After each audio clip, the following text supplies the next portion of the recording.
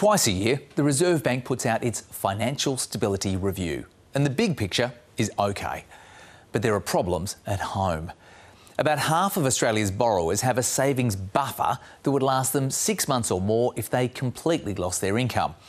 More than 40% would be in trouble in just a few weeks. What's keeping them afloat is our strong jobs market. And the one third of Australians who rent are living closer to the wire than the chunk with loans. But thanks to pandemic era support and savings, both groups have bigger buffers than before COVID came along. US markets roared through record highs after the Fed, the central bank there, suggested there could be three cuts to interest rates, which would make money cheaper. Indices in the UK and Europe love the idea too. China and Hong Kong have their own problems.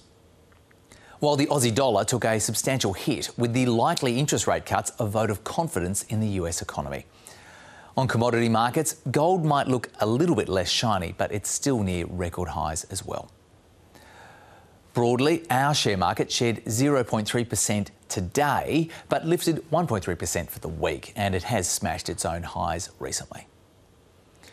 Back to the stability, or otherwise, one of the Reserve Bank's big worries about the global economy is the commercial real estate market.